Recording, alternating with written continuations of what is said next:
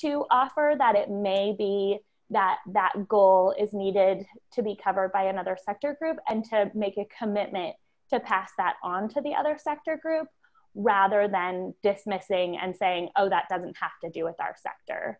Um, so that'll be a really important piece that I like you all to remember. Um, and then uh, the next, I guess I, I want to pause there before we go on to the um, schedule and just ask if anyone has thoughts or questions or wants me to clarify anything. Um, just curious if um, they've now been assigned to the sector? Yes, every, uh, yeah, it's all in that sec, uh, stakeholder list that you yep. all have access to now on the Google Drive. Okay.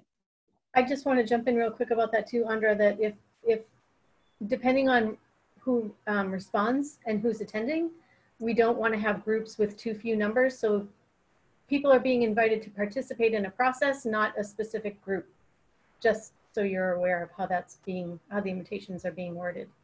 Perfect. Yeah. And we'll sh shake things out um, however makes the most sense for the groups. Thanks, Stephanie. Okay. Were there any other thoughts? Want to make sure I'm not missing anyone. Okay.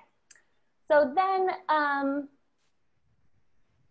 let's go to the uh, breakdown of the schedule.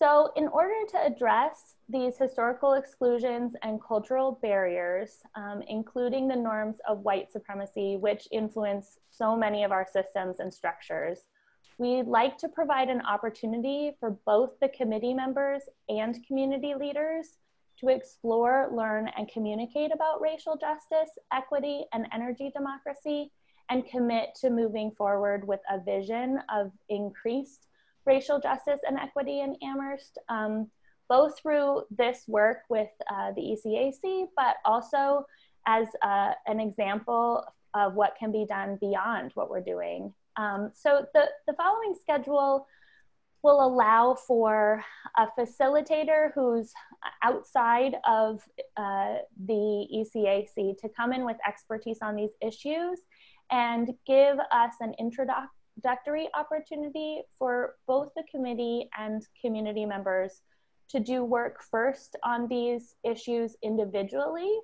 So the you as committee members together and then community leaders separately um, to have an hour of uh, introduction and dialogue to explore issues of racial justice and equity. And uh, then for a third hour, for you all to come together in commitment and visioning before the sector group meetings begin.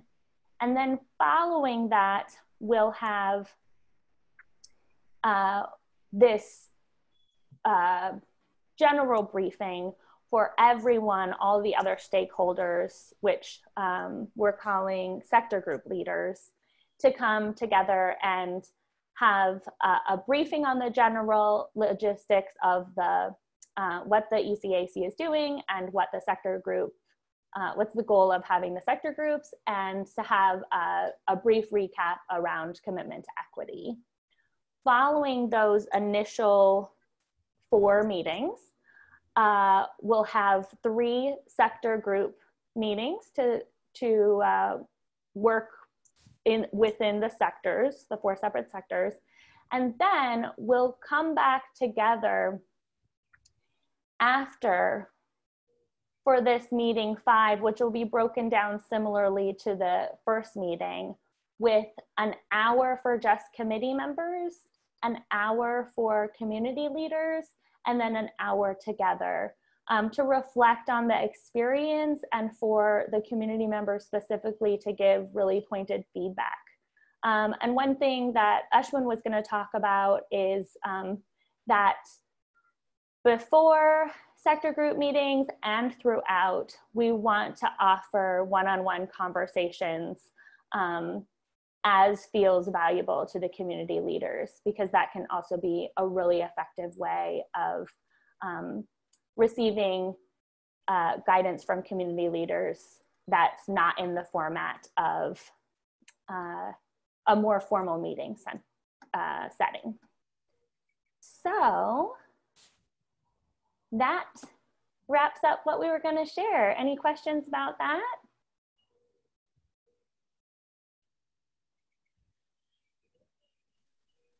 Um, how do you want um, us to offer the one-on-one conversations? So most likely um, at this at the initial stage, that will be offered um, either um, the community leaders can connect with Ashwin or myself. Um, and then as relationships are built, or if there's a relationship that already exists, I encourage everyone to make themselves available to community leaders and uh, offer that and then allow community leaders to take you up on it as, as they would like to. And that's a part of the invitation is that that that is going to be sort of a standing offer as a way for folks to participate if they'd like. And those one-on-one conversations will also be compensated. If someone even yeah if someone wants to do them in lieu of the meetings or if someone wants to do some in addition to the meetings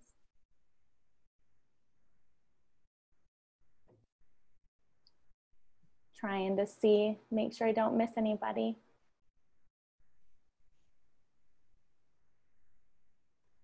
Okay, well, thanks you all so much for letting me um, wrap that up and share it. And like I said, hopefully Ashwin will join later. And please, if um, more questions come up, um, connect with him or feel free to email me with anything further. Great. Okay. Thanks, Jessica. Thanks you all. I'm going to go ahead and say goodbye. Okay. Okay. Bye.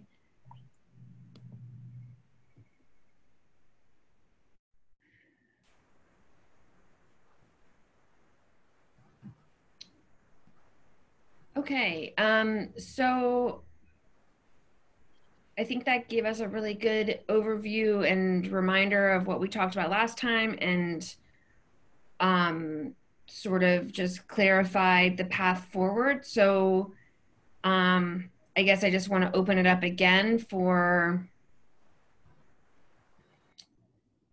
any thoughts, comments, concerns about the stakeholder participation plan um, before we sort of and if there's none then i'll assume that we're we're good and we're gonna move forward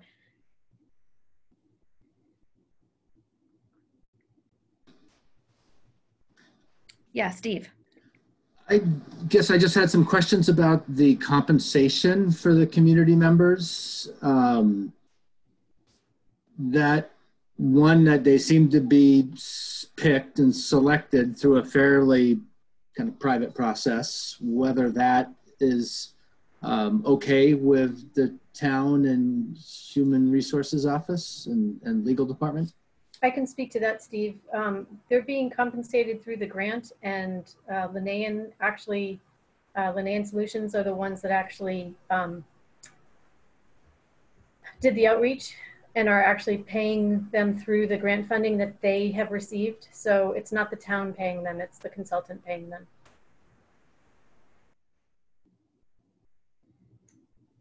And Steve, uh, just a, a, quick note on that. This is Jim. Um, so that's a process that we have worked out in a number of different situations for exactly the reason you're talking about.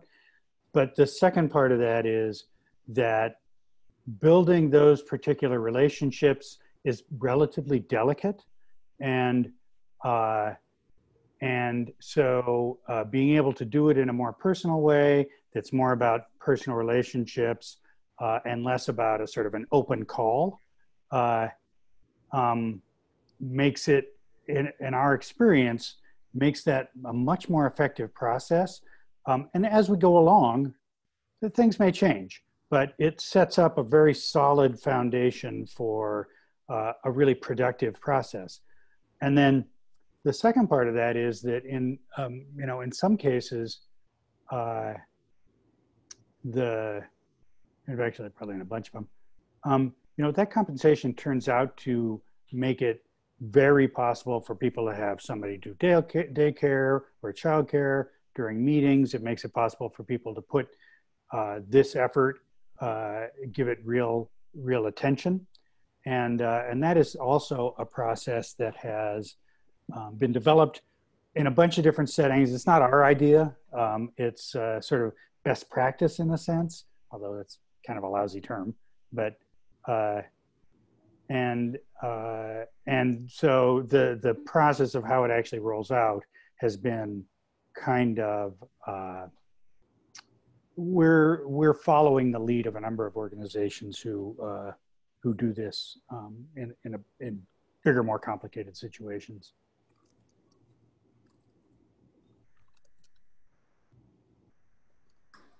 Good, thank you. Thank you for the um, background, the explanation.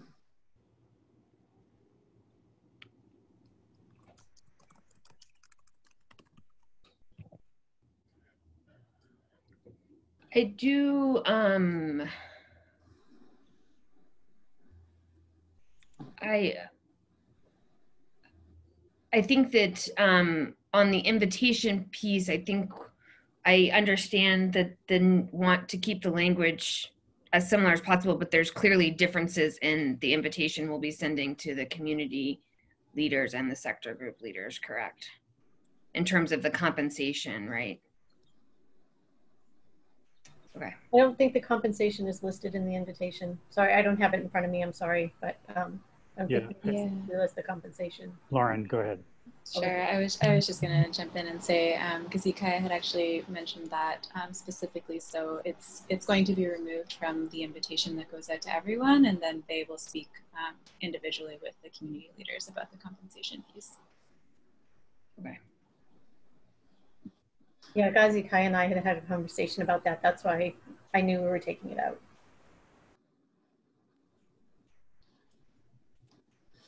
The other question I have is about all the meetings. And there's kind of a, a bunch of different to me. It's not clear to me yet which times I need to set aside for those meetings and in the next 10 days. It, it looked like four or five hours of meetings in the next week and a half. It's not, Uh, so Steve, you have the ECAC members need to set aside Saturday, the set 27th from 4:30 to 5:30.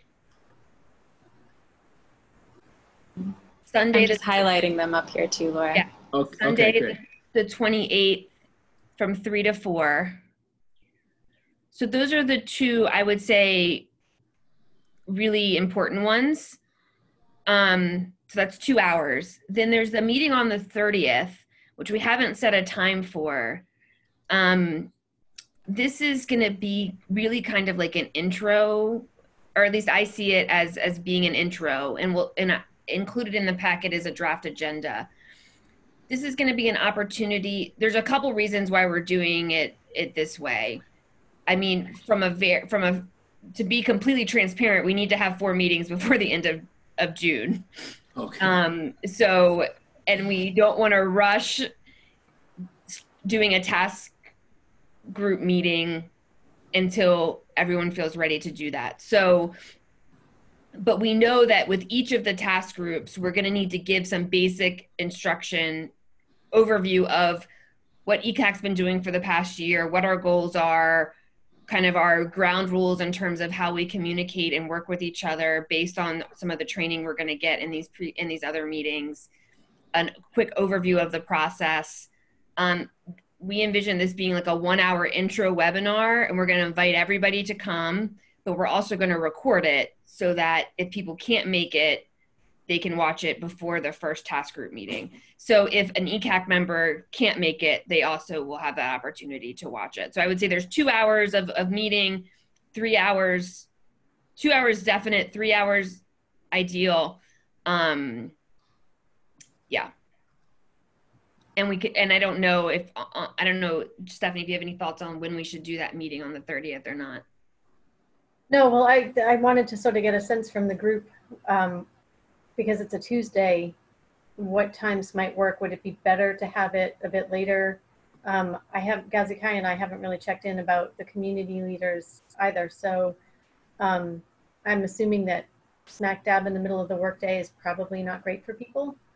So um, if I had a sense of what might work for the majority here, we could also do a, um, I could do a doodle poll and check back with um, Gazikaya as well.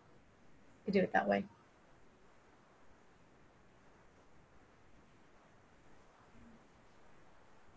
Does anybody have thoughts about what might work for that? The, the other thing I'd just like to note uh, it, about that, uh, both Laura and, and Stephanie, is that um, it is, we end up with sort of a bunch of different things going on, but they all are very important. And it's taken a while to figure out, okay, what do we actually have to have here? Um, and that that meeting on the 30th really, there's a real opportunity for sort of the whole group, including all of the other invited people and all the things, to kind of like, okay, let's gather up here. Let's circle up and head off on a project. And because it's taken a bit, a little bit of work to get there. So while it, you know, you don't necessarily have to participate directly, I think there's a real opportunity to to kind of build the full vision of what this the whole process is like uh, in that, which could be pretty great.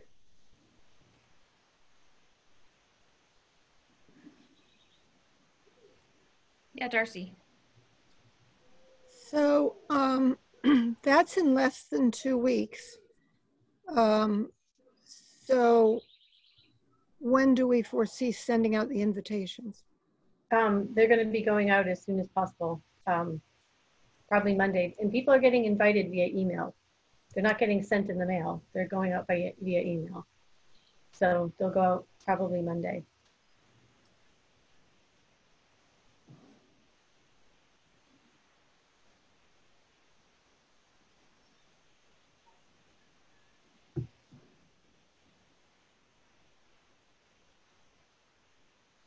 What was the time of the Sunday meeting? It's going to be from um, three to four.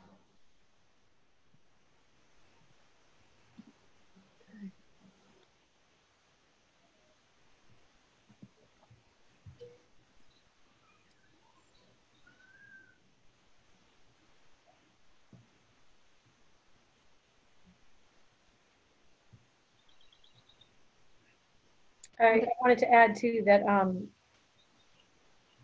I did talk to Paul Bockelman about it um, as well, and he and I are likely going to sign the invitations. So we'll have the the invitation will be an attachment.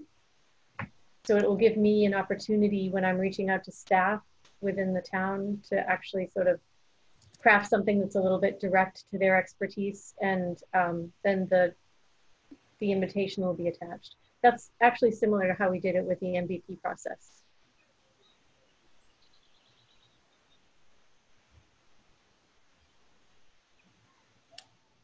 Okay, any other thoughts, concerns? Right now, we're just sort of, I think, agreeing to the plan for these first four meetings. Um, the different stakeholder groups and and we're still um, and and Stephanie's got our all of our input on the stakeholder list. And like like Gazi Kaya said we're gonna um, the intent is to keep the stakeholders the way that we've organized them but we're not going to invite them specifically to a task group just in case over the next couple weeks as we're finalizing our task groups and looking at the numbers that we um, don't decide actually this person would be a better fit for this group. Um, we don't anticipate having to do much of that, but it just we don't want to. It it seems like that it would be easier just to kind of hold off on that piece of it. Um, does that sound okay with everybody?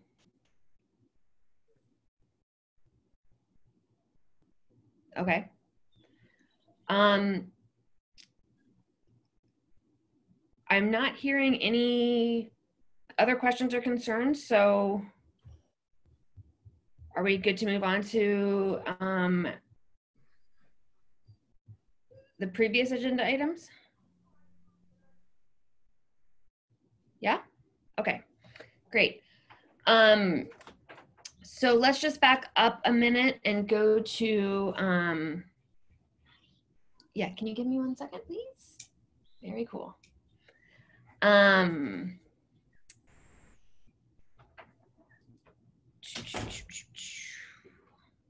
staff updates.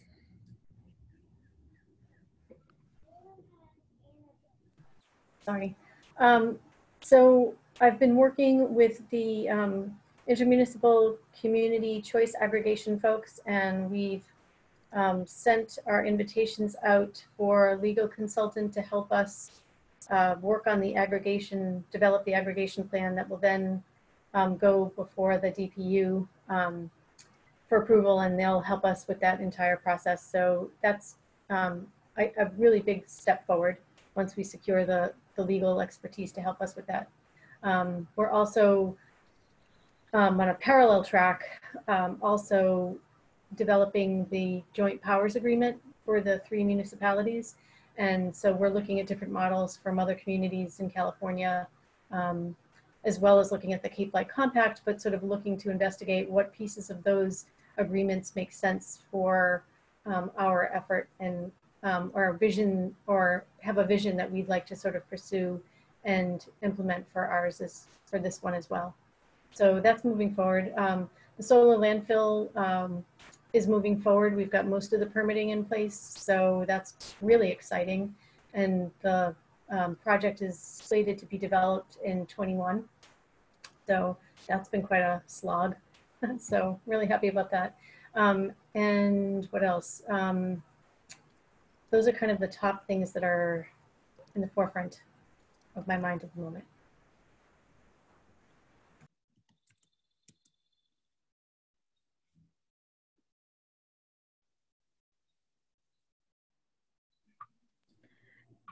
Unless there's questions for Stephanie, um, we can turn it over to any updates from ECAC members.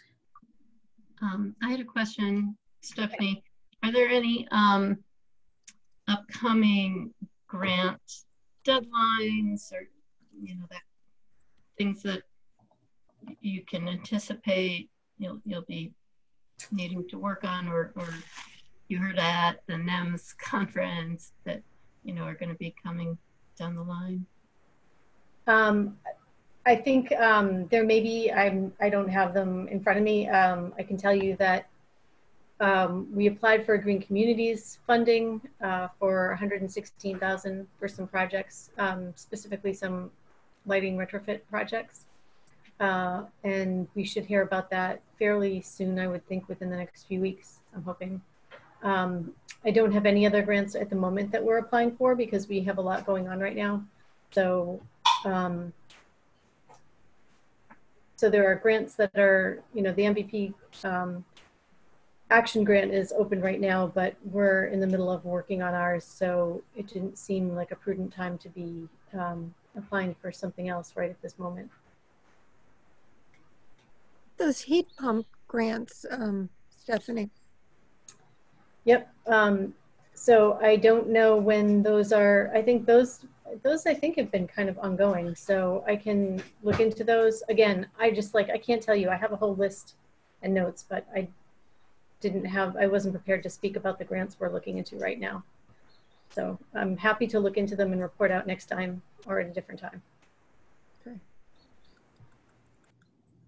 Jesse? Um, yeah, I, I, I don't want to put you on the spot, but I, uh, I if Sarah, I don't know if you have a minute to just say who you are and it's great to meet you. My name is Jesse. I'm a local architect and Amherst resident for 10 minutes. I don't want to take up a lot of our meeting, but I'd love to give you a chance if you want to just a minute to just say hi. I've never met you before, just once maybe.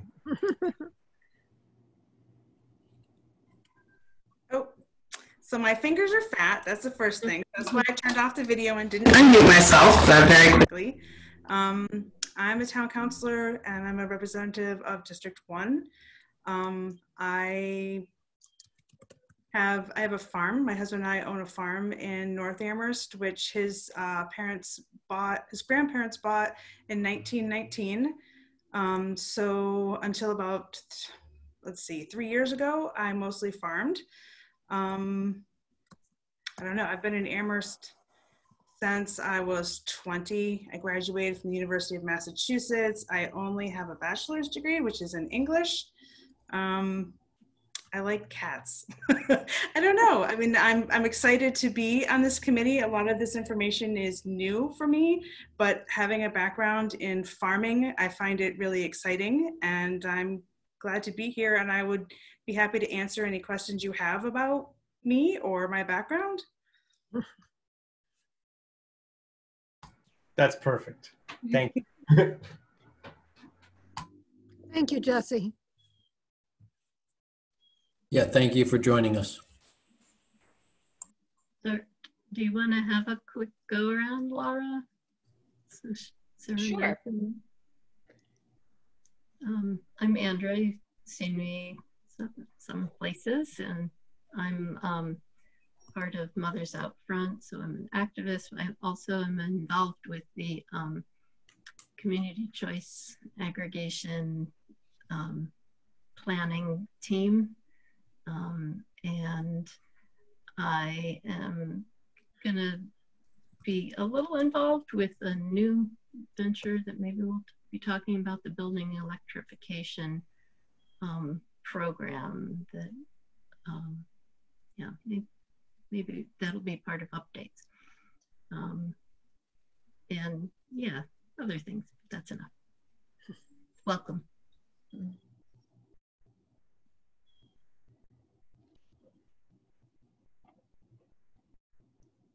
Anybody else want to go? I'm Laura. I'm the chair of the committee. Um, I have lived in Amherst now for six years, I guess. Um, formerly at Amherst College. Now I'm working for Ceres, which is an NGO based in Boston. Um, yeah, excited to have you. Sarah knows me. I do know. I do know Darcy. we see so much of each other, actually.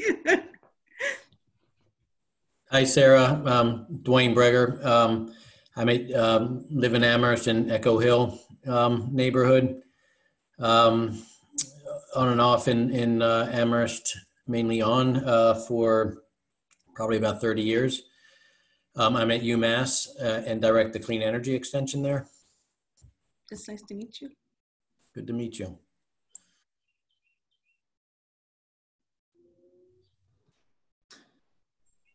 I'll.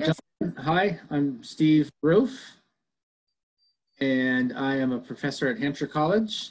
I do earth and environmental science. I've been doing a, quite a bit with the energy monitoring at Hampshire College and the solar arrays that we've got, and I've been uh, learning some some aspects of that. So I've actually taught a course on renewable energy, which is probably more educational for me than the student.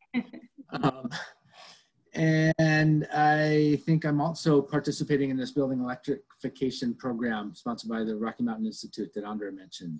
So look forward to meeting you in person sometime soon. That'd be great. Yeah, absolutely.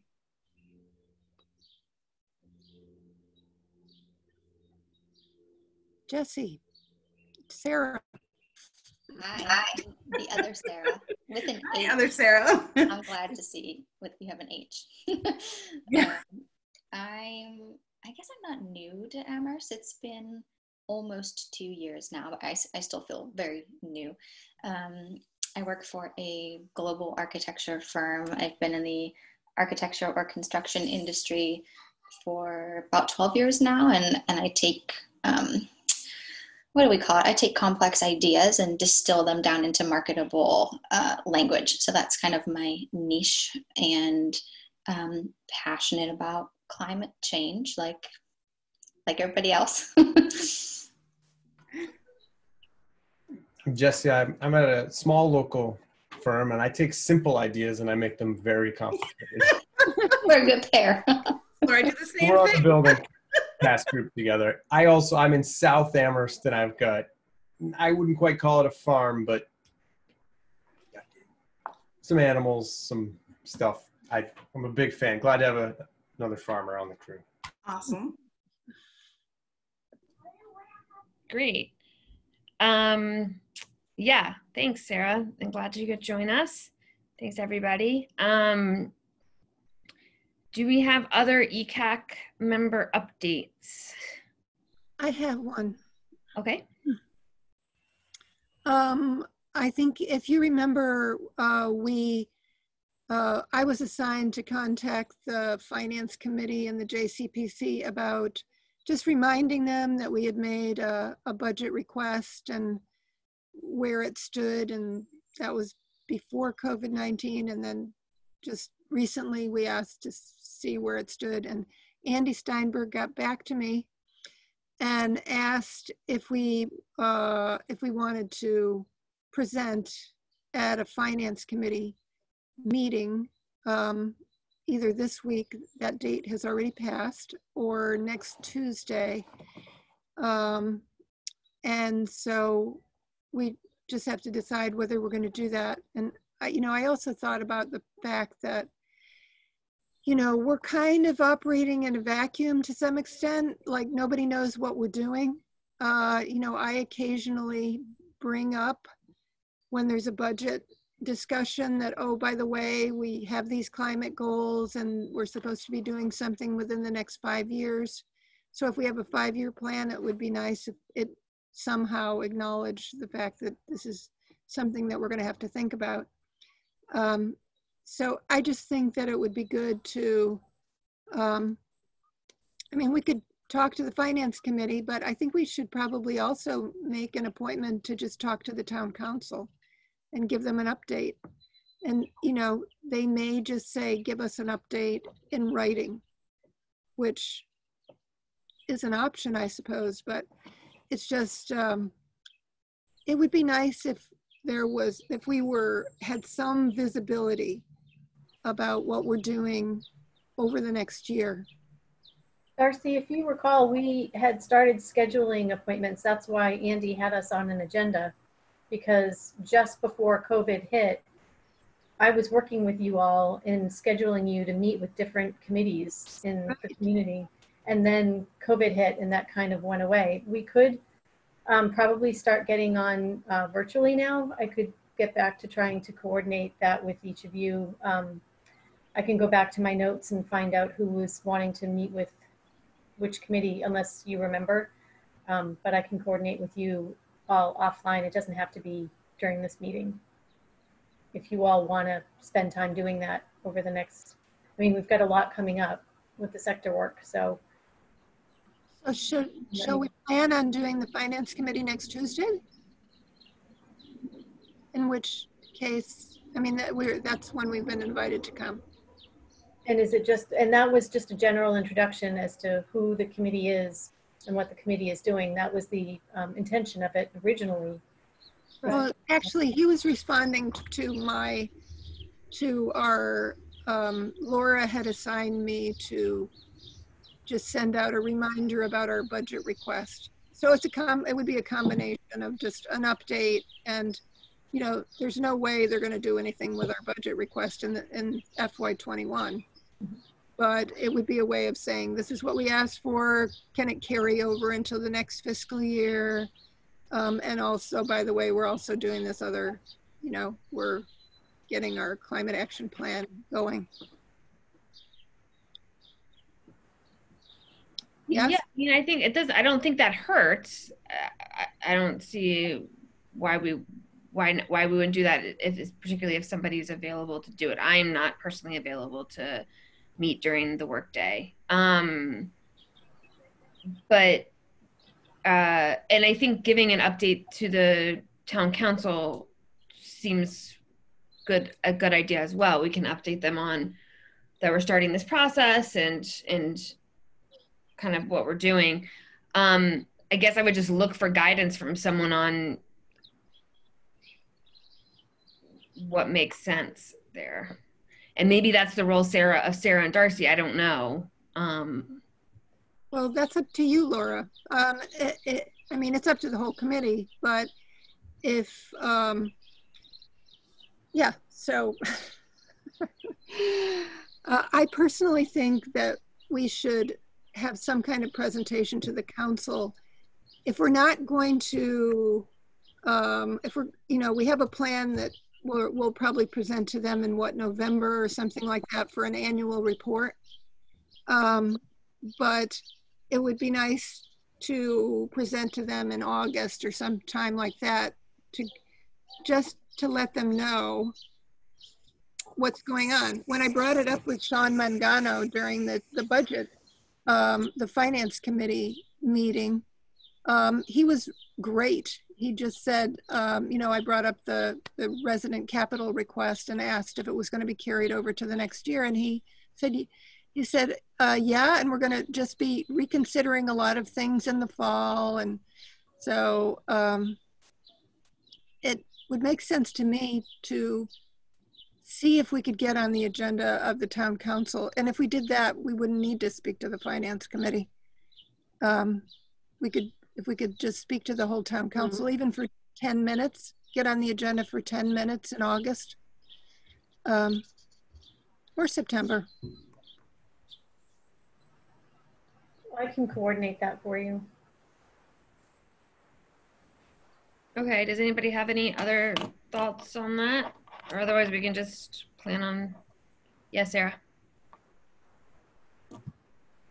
Again, oops, fat fingers. So Darcy, what I'm wondering is, are you thinking that you would um, want to have just before town council to give this this committee more faces that that um, so then when town council thinks about ECAC and thinks about funding, that they're really um, by seeing the members of this committee and their faces there, that they're thinking more of ECAC is not just um, sometimes I think it'd be thought of as just a town council thing, but I think it's impressive to see how many, you know, people, intelligent, passionate people are on this committee. Is that what you're thinking? Is that it would be sort of a, a show of, not really a show of force, but more impressive to see faces there than just counselors?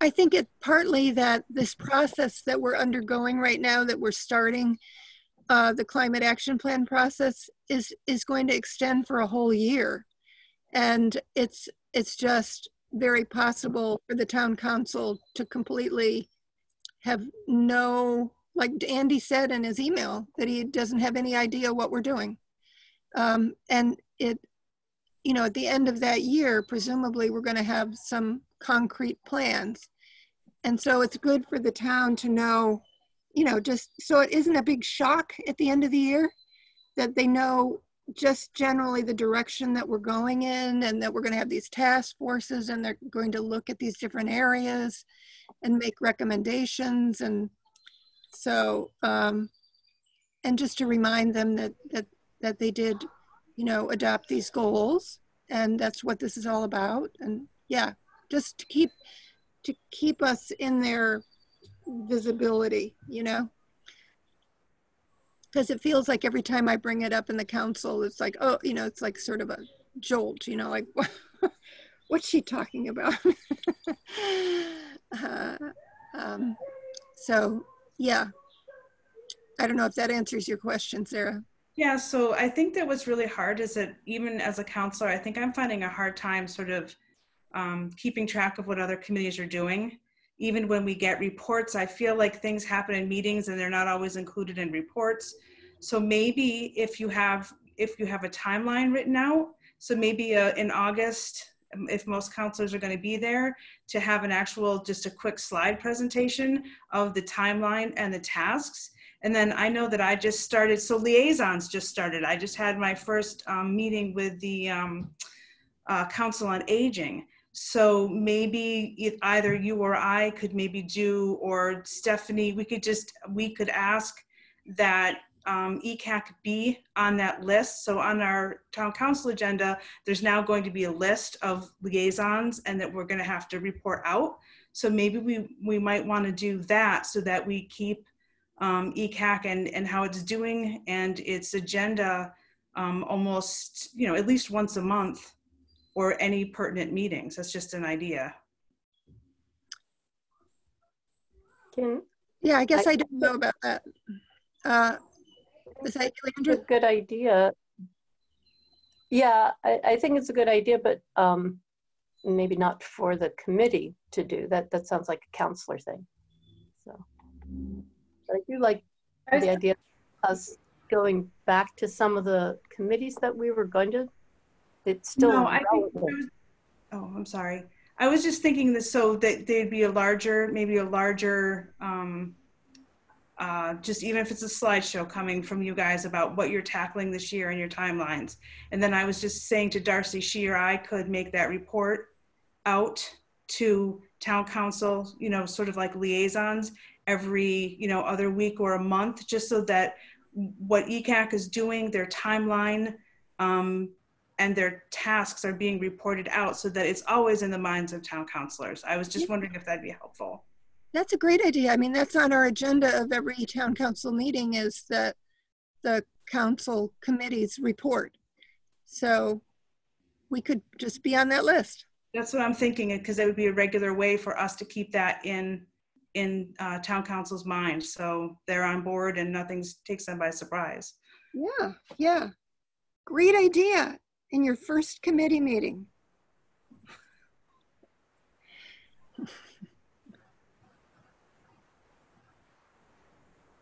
Oh, can't hear you. Um, all right, bye. Oh, Um, Got to take okay, notes. so we'll put that on the, Stephanie will organize that, but I think, um, Sarah and Darcy, I would put it to you to get the ECAC on that list of the committee updates. Um, any other ECAC member updates? Dwayne, yeah.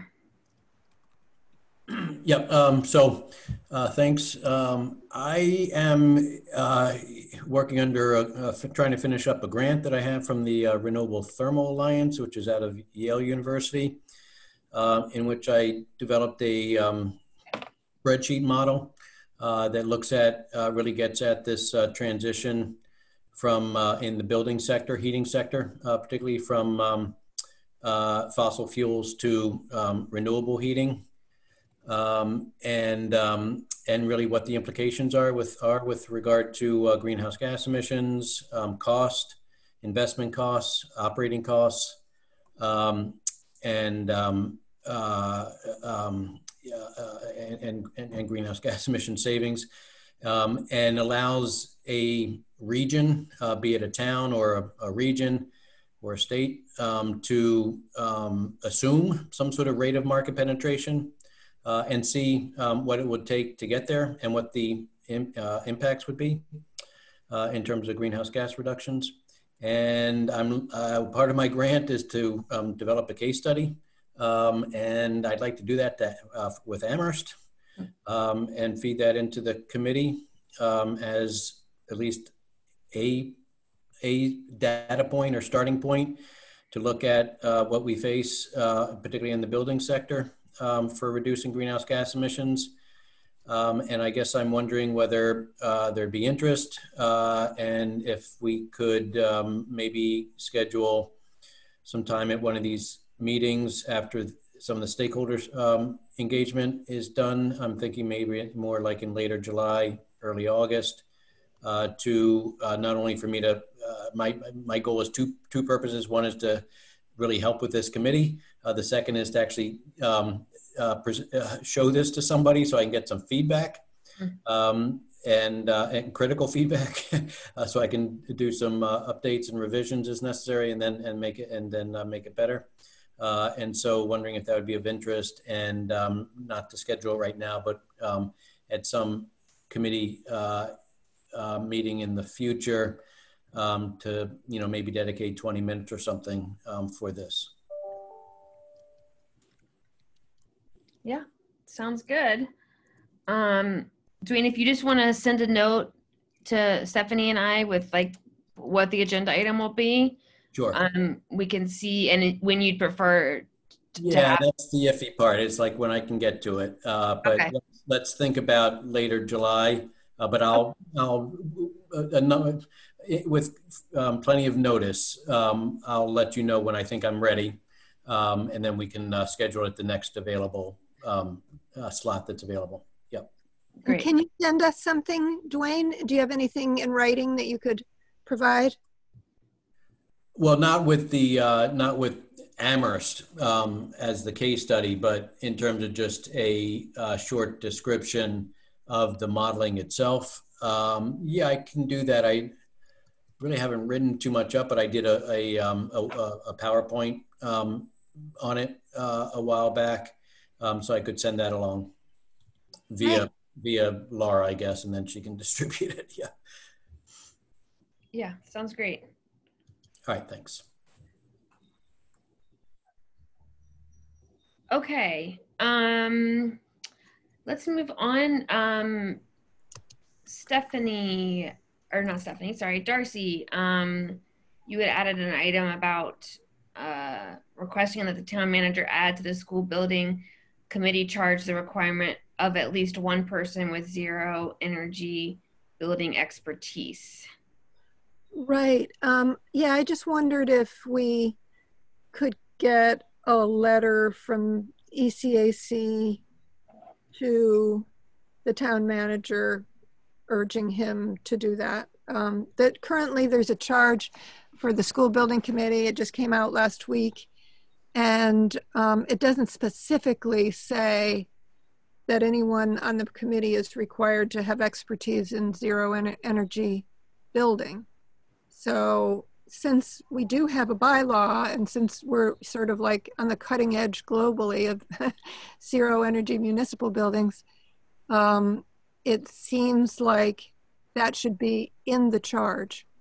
Um, uh, so just wondering if we could just send a send a, a letter from ECAC that is like two sentences urging him to do that. Jesse, did you have a comment? Yeah, they are. They, it states we're seeking members of the public who are interested in serving, including a resident with experience in energy efficient public architecture, engineering, or construction, and then other, and then teachers and, and then Right. other. So and so, it, that's the phrase we're looking to goose up. I- I'd be happy to write it. I would write it not just for net zero. I would think someone that has a, a broader understanding of carbon embodied operational climate change renovation and new construction is how i would write it and i could um, what do i do where do who do i send that to Yeah, so I think if you want to, Jesse, that's great. It would be awesome if you could write that. Um, if you want to send it through to me and Stephanie, I, I think we can. I mean, you could just send it on behalf of ECAC as well to Paul through Stephanie, um, but maybe just CC both of us, okay and um, then I think we could just send it straight through to Paul. But I think having Stephanie CC'd is important because then she can follow up on that. Am I right, Stephanie? Yes, thank you. and then i would just add so that's a committee slot that's open and i understand maybe also there's a slot that will be opening up on the planning board Two- There's actually two slots opening. which I feel like is a place with a huge amount of leverage. And I know all of us are probably maxed out, but but if in our networks we know people who could fit either in that commit school committee or the planning board slots, I think would be we should use our networks. Yeah, the planning board is probably going to try to select sometime during the summer. They haven't had an, a large enough pool yet to conduct interviews, but um, uh, I know of one person who uh, has a has an energy efficiency um, background who's going to apply for the planning board. But we do need to see if there's more people that are interested. Definitely. Yeah, and Jesse, I would just suggest. I mean, I don't think we need to send a long note to Paul, but I mean, I don't think it hurts to mention to start with the school committee, building committee, and then also mention that for committees like the planning board, it's we should be considering people with these these expertise. Yeah, that that's seems great. Yeah, Sarah. I keep talking, I'm sorry, but I'm on the CRC and we appoint planning board members and we are going to be down like three members. So we desperately need people. And if you could, if any of you have people in your circle that you think would be great, please, please, please have them apply. We desperately need good people. And I think that people having this background would be amazing. So please do. Great. That's helpful to know. Okay, um, so sounds like that's we're good there. Thank you, Jesse, for stepping up. Um, so let's move on to um, let's kind of go back to uh, the climate action planning process, next steps on task groups. So I'm going to turn it over to Lauren or Jim here. Thanks, Laura. I'll just um, definitely, I, I'll, I can pull up the slides if you don't Okay. have them. Yep. It's totally fine. Here, I've got it. Okay.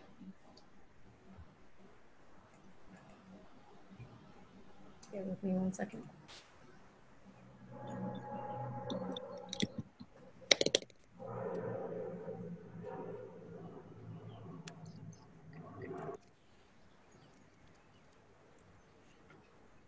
Awesome. Thanks, Stephanie.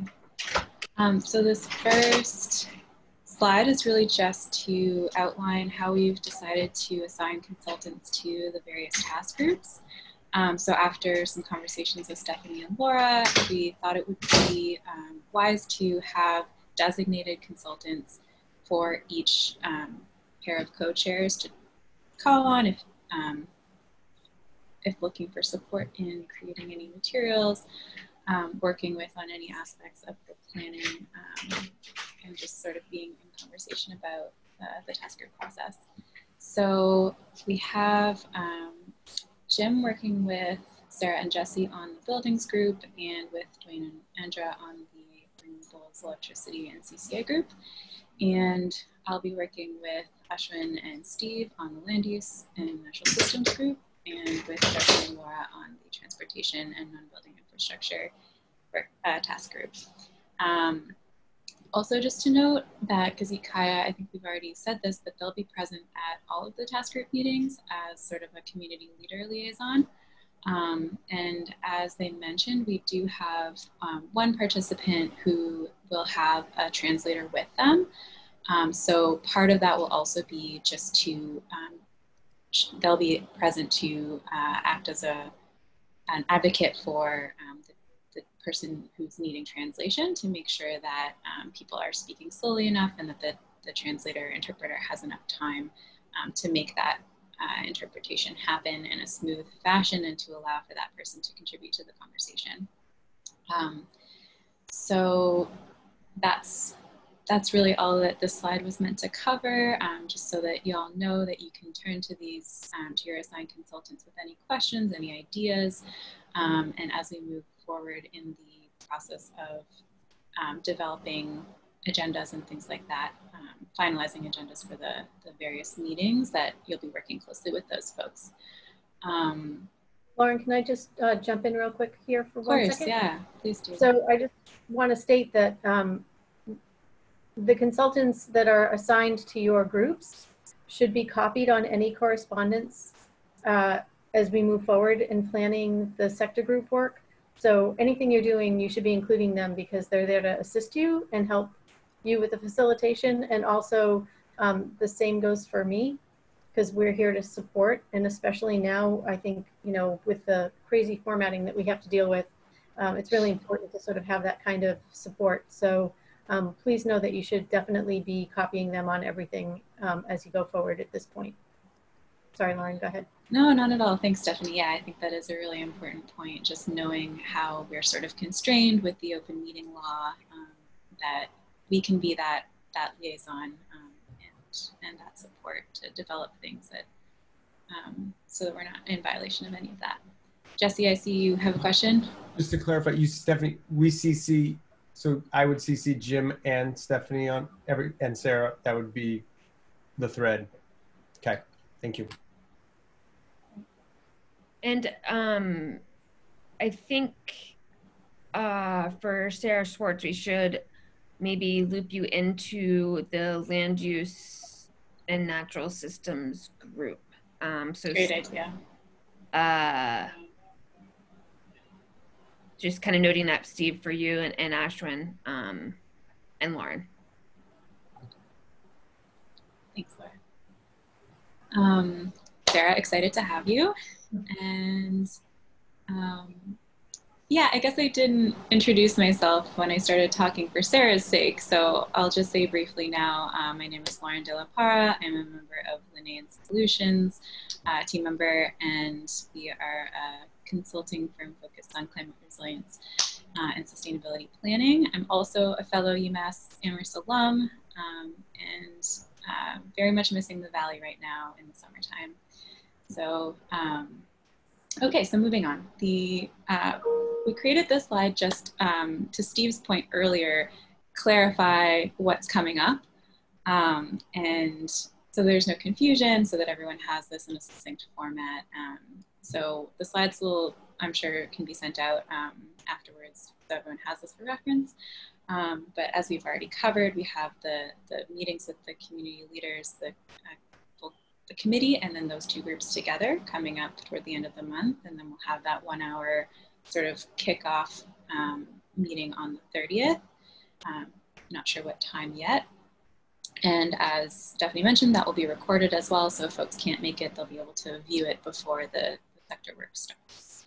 Um, and then we have the sector groups, the task groups um, that will be coming up um, starting in July. And those three meetings are going to be focused on strategy identification, prioritization, and then implementation and monitoring, sort of loosely. We don't have um, specific agendas for those yet. And the next slide will talk a little bit more about that. Um, so we were asked to speak Lauren, to. Ask, or oh yeah, of course. Sorry. Um, do folks have preference. I mean, I think we should shoot for the af- evening, but like five to six, six to seven, seven to eight, eight to nine. It feels like it needs to be somewhere within that time frame. You're talking about the 30th? Yeah. Yeah, that early evening would be better for me. I, I have a meeting already at seven. Okay. Maybe yeah, it would be good to know sort of what folks' conflicts are so that we can work around those. so Andrea, Andrea, is your meeting um, seven to eight or seven to nine? Uh, seven to eight thirty. seven to eight thirty. Okay. So would five or six work with the rest of the members of the group? I have a meeting that I shouldn't miss that ends at 5:30 on, Okay. on, on Tuesdays, basically, but so five, but I could start sharply at 5:30. Okay. All right. So that gives us, Stephanie, I think that gives us a range and, you know, we'll do our best with the rest of the group and other meetings that the town may have on um, to schedule something for that. Okay, great. Thanks. Um, so we were just asked to speak to how the task groups are going to work in this virtual format. And much like the committee meetings, they will need to be in webinar format, which I know is a little bit of a bummer. We can't do breakup, great breakout groups um, for the same reasons that we came up against last time we tried to do that, which is the, the potential for Zoom bombers um, and, and also, most importantly, conforming to the open meeting law. Um, so we won't be able to do breakout groups. We will be doing in webinar format with all of the um, participants as panelists. And then if there are members of the public that come and, and want to comment or um, give feedback, then they'll be um, allowed to watch the proceedings and then uh, um, given time to, to chime in um, as needed. And then, of course, as leaders of these task groups, you'll be welcoming everyone into the process, recapping the purpose of the meetings. Um, and as Gazit had presented some of those group agreements um, earlier, I guess last week we focused on those. Um, we'll want to probably reiterate those at every meeting.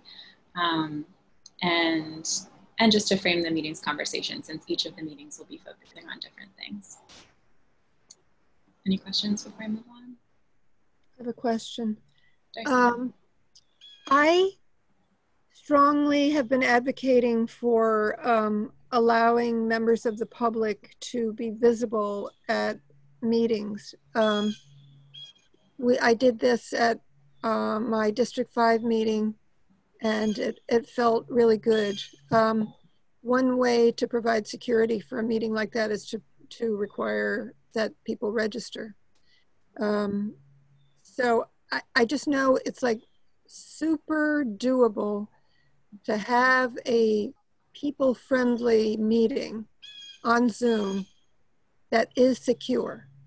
Um, so um, to the extent that we could do that would be great. And, you know, it's not that we would have that many members of the public, but it would be nice to be able to invite them into the meeting so that they're visible, even though, you know, their mics might be off. They might, they, they might not be able to speak unless called on or something like that.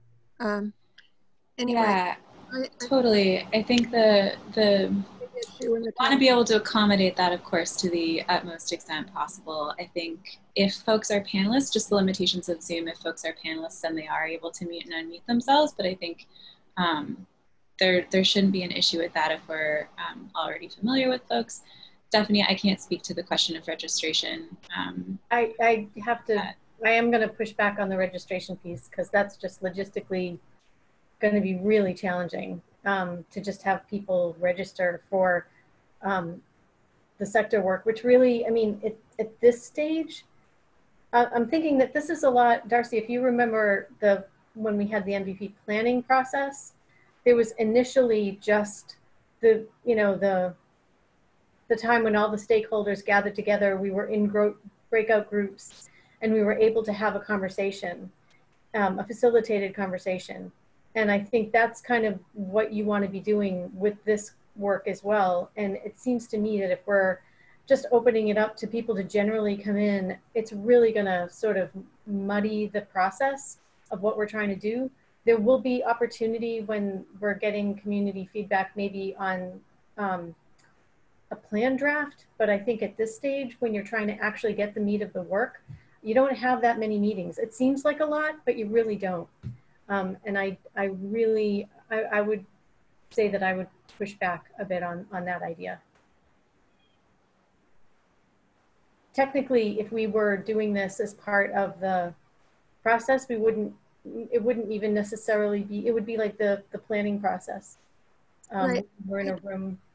We've just heard from a lot of members of the public who uh, are attending our meetings as attendees in a webinar.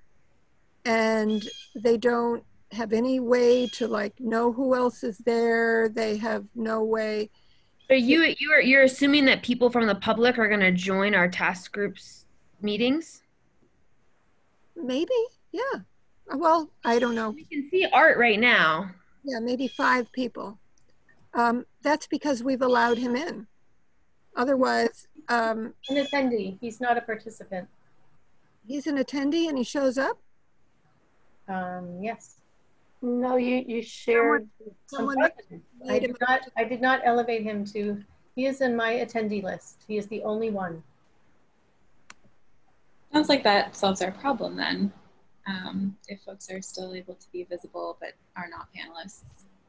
So Well, yeah, if they're visible, I've never seen that before, so that is very interesting. I may have allowed it. It might be that when I set up the meeting, I allowed for that. So, So Darcy, we can investigate that and and see what's possible with Zoom. It sounds like it sounds like given that Art is here and we can see him, but he's not a panelist, that it is possible. So that that's great. Hopefully that's I the think case. that's a great a great thing to figure out and probably be valuable uh, moving forward as an option in lots of different settings. So that's cool. Totally, since we don't know when we'll Yeah. be able to meet in person again. Okay, great. Yeah, Dwayne. Yeah, I just had a question. I'm just again, trying to figure out the scope and, and how this is being, um, these invitations and so forth. I guess my question is, it did relate to a comment earlier. Um, and I'm just trying to wonder how the, um, um, task force members, I forget all the terminology but the people we're convening, task group members, are they going to be, what sort of context are they, they going to be given in, in the invitation? Do they know that there um, are uh, four other uh, task groups going on, covering different things? Um, and it gets to the point of, you know, when they start a conversation that is really belongs maybe in a different task force, are they going to be aware or do we have to explain all that? Um, to me, it would seem helpful if there's a, an email that go, you know, the invitation sort of lays out the context um, within the broader um, stakeholder engagement that we're doing. Yeah, Dwayne, that's a great question. I think the, the first thing that we're going to do um, that will help people give people that context um, is going to be that meeting on the 30th, the one hour sort of kickoff meeting that's really intended to be the contextualizing moment. Um, so that's where folks will find out about the other task groups and the, the variety of topics being covered, sort of the big picture of the process. Um, we're also creating a sort of welcome packet um, uh, it's going to probably end up being a three or four page document that just sort of gives a high level overview of this process and also of the work that's already been done to date um, through the MVP process and through all the ECAC's outreach work. Um, so folks will have that as well as sort of a tool to ground them in the, the larger process. I knew we were in good hands. Good. Um, and, and, and I was also confused. So the 30th meeting, um, is not just the community leaders, but it's all for all the task force, uh, the yes. task groups. Gotcha. Yes, sorry if that wasn't clear. Yes, that, that meeting on the 30th is intended to be for everyone who's participating in the process. Great. Think of it like the launch meeting. Yeah. It's really yeah, the exactly. of what we're about to do. Yeah, nice. I have a similar question. Is for each of these meetings, uh, is there an identified um, person or persons who who are really the leader of the meeting, who are running it, setting the tone, et cetera, et cetera?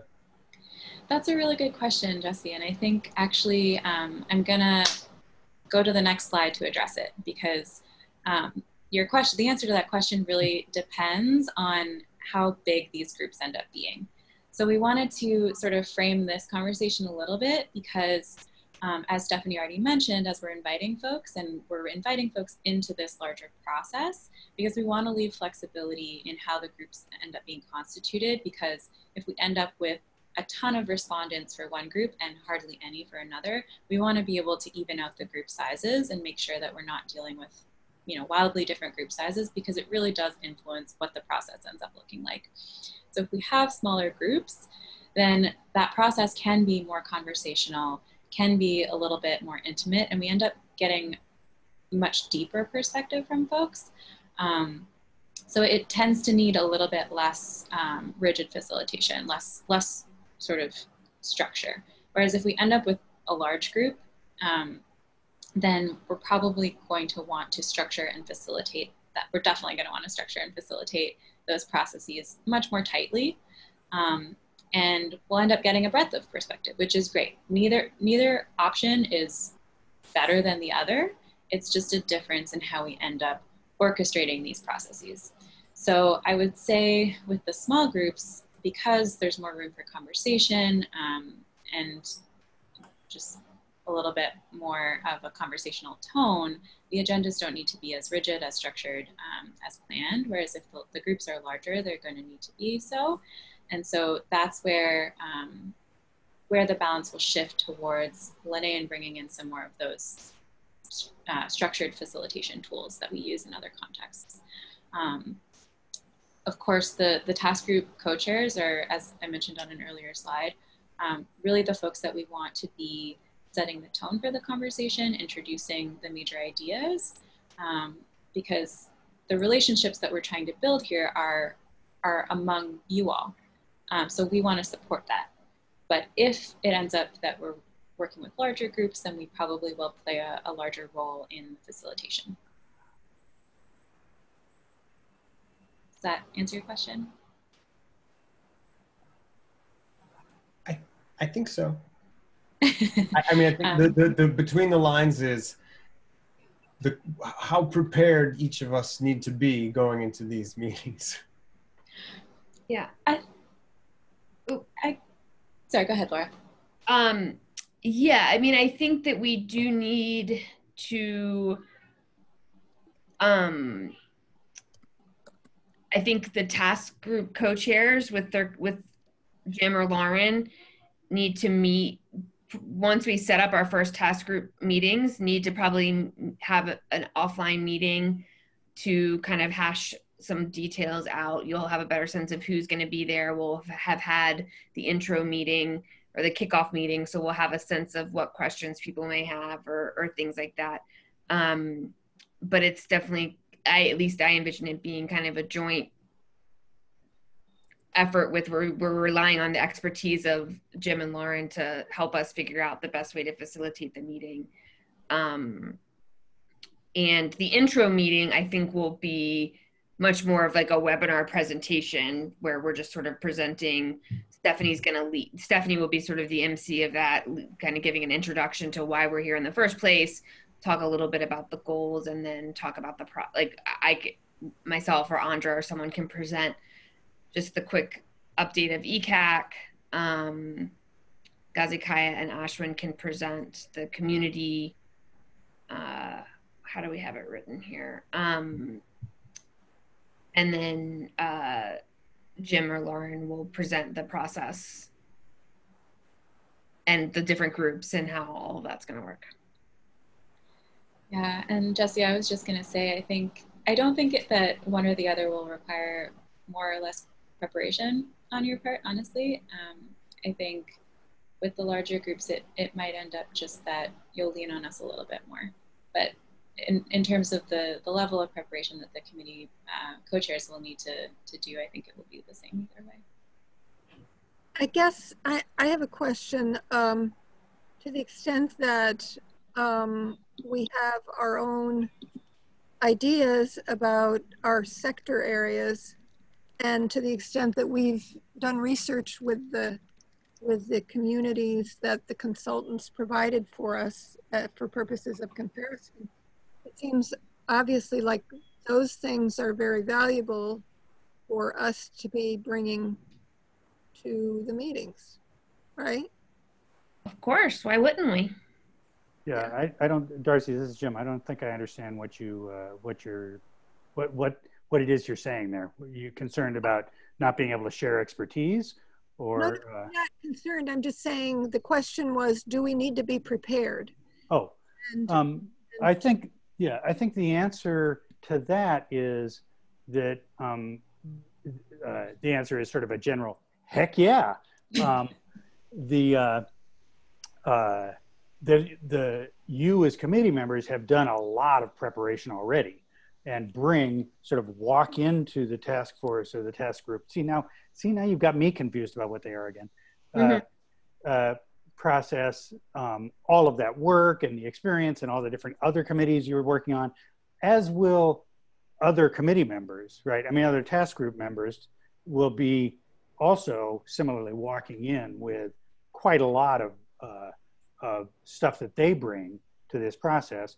And the, the real trick will be to, uh, in the process of three meetings and some homework, to kind of form that into some strategies that have actions that are grounded in what the is going on in the town and what's happening in the committees and are highly aspirational uh, and uh, you know will grab people as a as a, a sort of an ongoing plan idea um, that the the work I don't think is going to be in the process of coming up with the ideas.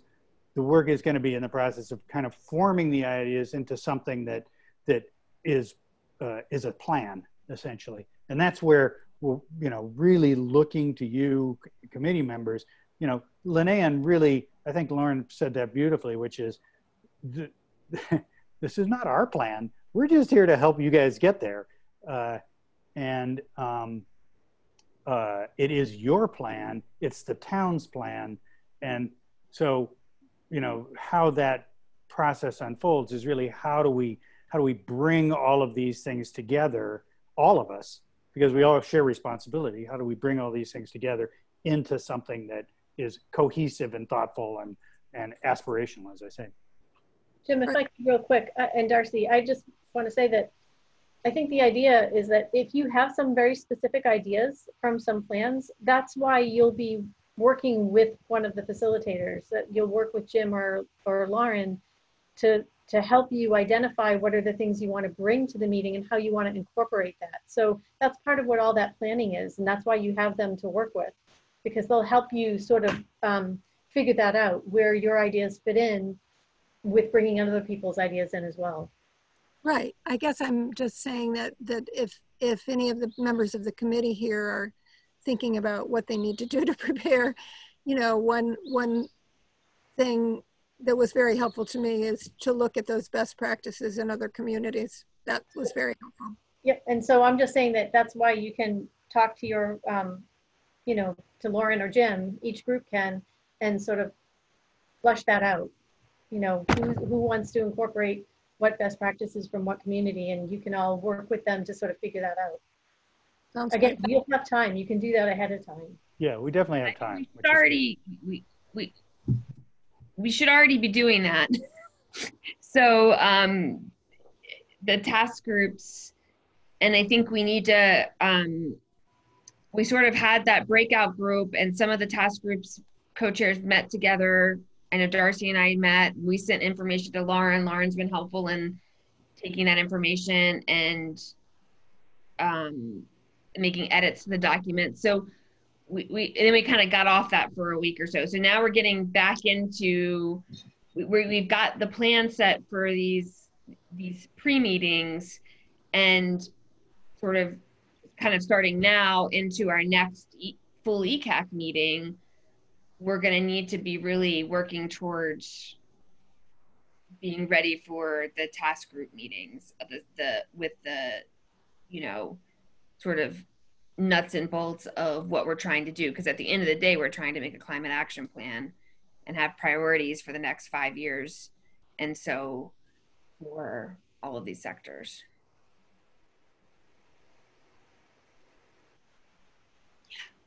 yeah andra yeah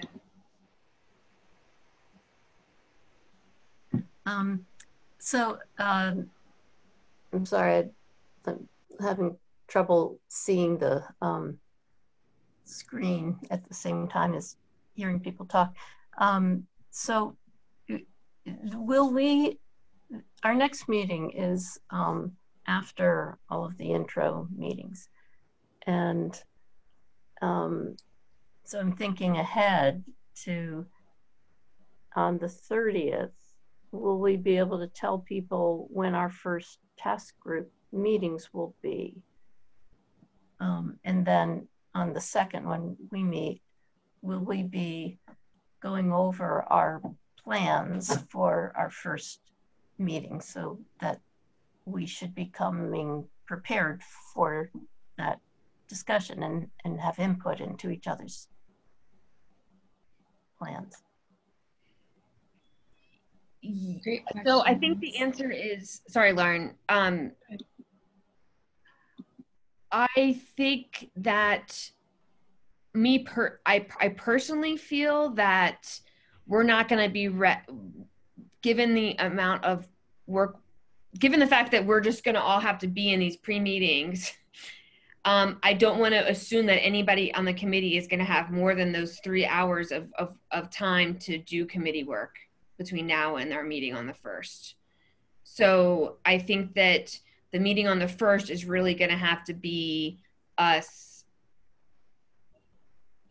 getting ready for the task group the first task group meetings which will happen later in the month. Um yeah lauren Or if I can jump in, yeah, I was just going to say um, it will probably be important for the next committee meeting to be focused on that, especially because um, by then we'll know who's involved in the process, who's said yes. Um, and at that point, we can define the task groups. We can say definitively, these people are in this group, and etc. Um, so that's when we'll be able to say, that's when we'll be able to schedule effectively. I think we probably want to aim to have meetings with the co-chairs and their consultants that first week of July um, to plan out those the agendas for those first meetings. And this is probably something to talk about as a group. So Laura, I, I defer to you, but in terms of um, it might be a good idea to set a target week for when we want to have those first task group meetings, even if we don't have specific dates, just so that we can give people a ballpark.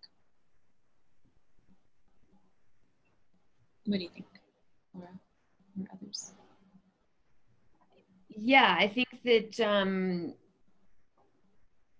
that makes sense. Although I feel like I've thrown out weeks several times and then quickly gone past that time frame. So, um, I mean, so we're going to send out the invitation and we're going to invite everybody to the meeting on the 30th.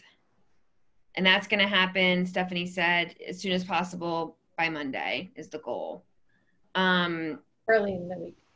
Yeah. So I think at the meeting on the 30th, I don't think we'll be ready to say this task group is meeting this day, but I think we should want to be able to say, you'll be getting an email from us with a doodle poll about your ta- uh, which task group you're in and a doodle poll for when you want to meet. I think that should be our goal for the meeting on the 30th and we should send that out the following day or two. Does that sound like a good time frame for everybody? Do we have a timeline, a required timeline of when, when the meetings have to happen? So after The July 1st, oh, sorry, go ahead, Stephanie. I was just going to say, um, the only requirements we really have right now are these four meetings before June 30th. Other than that, everything else happens after July 1st. Everything. Like, and then we have until um, the grant is um, has to be completed. Everything has to be done by the end of May in 21. Yes, so the deadline is the end of May 2021. And we're also still on track with the original timeline um, that had the task group meetings happening um, from June through August. So we're a little bit later, but um, if the three task group meetings happen before the end of August, then we're still uh, on track with our original timeline. Just one, one option, because I know we, we meet as a task, as a, as a um, committee um, on the first. Um, And I'm wondering if everybody's convened by Zoom on the 30th, um, whether there might be um, some good Zoom process by which people can just fill in a spreadsheet on, at that point or something of dates that um, they are available or not available for the task force meetings. Uh, and then we can convene when we, part of our agenda on the first as a committee would be just to set those dates. Um, and, and make sure they're, they're um, fine with the, le- um, the committee members um, that are on those, each of those groups. Yeah, it's a great idea. Yeah, a, a doodle poll with that many people and different task, task groups. Uh, of course, I wouldn't do it, but, but, uh, somebody else would do it, but I, I wouldn't, uh, uh, it's, that can be a problem. Yeah, Sounds like a mess. Um, but no, that's a great idea. Either, uh, uh, you know, a, a, a Google form or uh, could use a poll structure, whatever. I mean, we can figure out, that's a great idea. We can figure out a, a way to do that that's fast and not super obtrusive uh, and doesn't, you know, divert everybody for 20 minutes during a one hour meeting. Yeah. Um, yeah, I think that's a great, great thought. Perfect. Andra, did you have something to, to add? No? Okay. Um, Lauren, Great. why don't you keep rolling? Yeah, sorry, Lauren. Yeah, um, so this is actually the last slide um, that we have to, to cover. Um, and the last point there was just to reiterate that we're inviting people into the overall process and then Great. going to figure out what the constitution of the individual task groups are um, once we know who's confirmed. So yeah, that's, that's all I've got. Any last questions?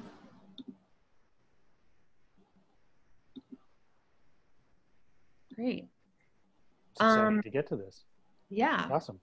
So just to reiterate, I think on, so everybody should have saved time on their calendar for the 27th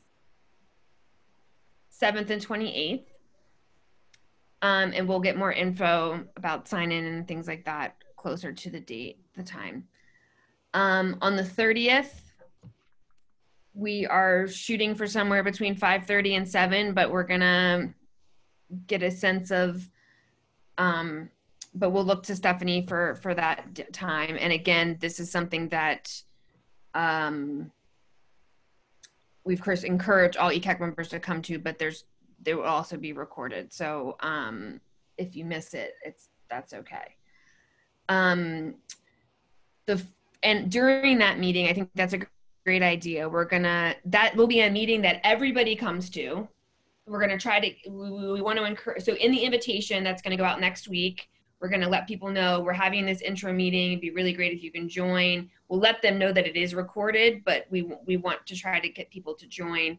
During that meeting, we're gonna go over to Dwayne's point, sort of you know that there's these different task groups that they focus in these different areas. This is what we're hoping to accomplish um, over the next three meetings.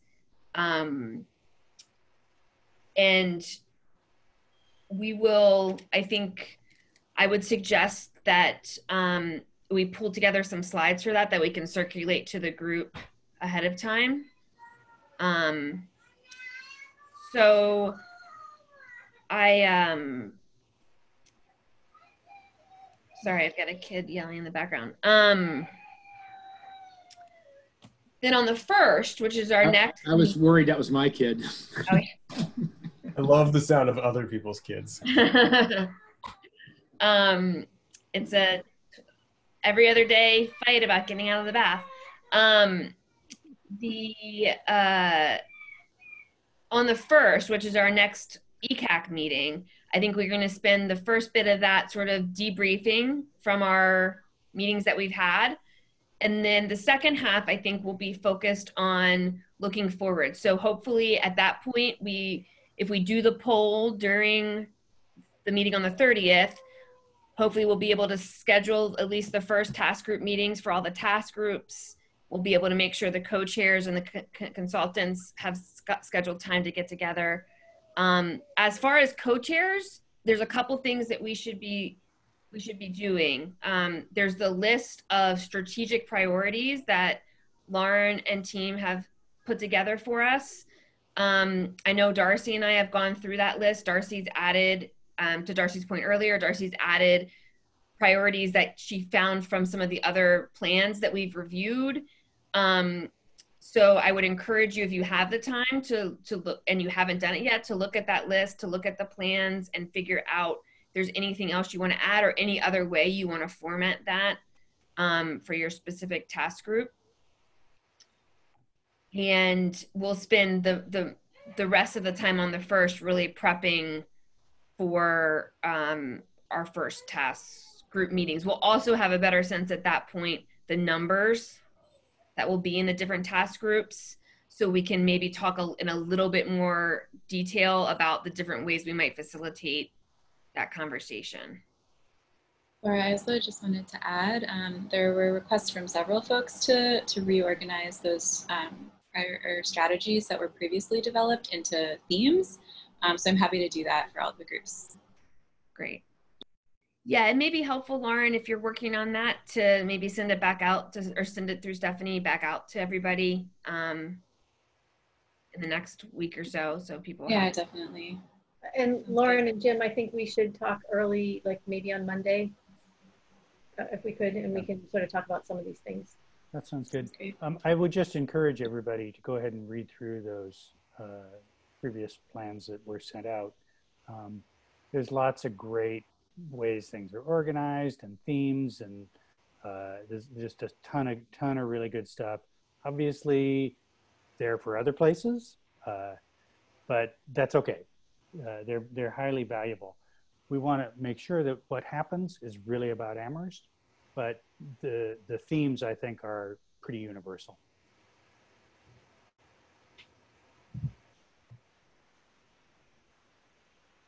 Okay. Um, is it possible that we might end early for the first time in history? Let's see. Anybody have any other things to add? No. Don't jinx it. All right. Um, well, thank you, everybody. I think this was a really great meeting. Um, and I look forward to connecting with you next weekend. All right. Sounds Thank good. you all. Take care, everyone. Bye-bye. Nice to see you.